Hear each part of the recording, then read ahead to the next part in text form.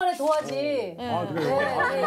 게스트 박혜수 씨 함께하고 계시는데요. 마분지, 네. 그동안 많은 분들 나왔지만 네, 이렇게 네. 좌중을 휘어잡는 분 처음이거든요. 예, 어, 너무 예. 멋있네요. 여러분들의 기대 힘입어서 네네. 어, 앵콜송 하나 예, 예. 부탁합니다. 준비를 이것밖에 안 해오긴 했는데 근데 그 Star Is Born 영화에 나왔던 Shallow라는 노래 그 되게 많이 Shallow. 사랑받은 OST거든요.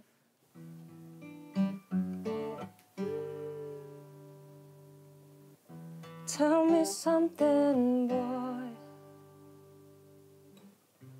Aren't you tired trying to fill that void? Or do you need more? Ain't it hard keeping it so hardcore?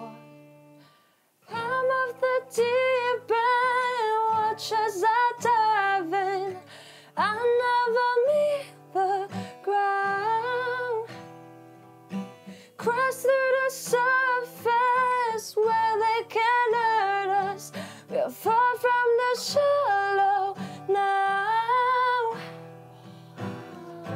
In the sha- shallow. In the sha- shallow.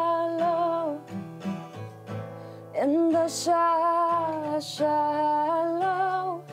We are far from the shallow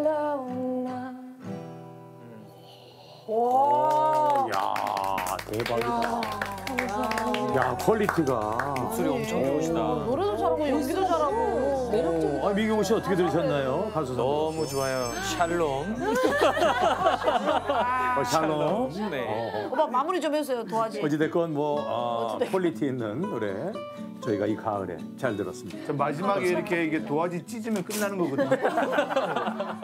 자, 이렇게 찢어주시면 돼요. 우리 박수로. 아, 예.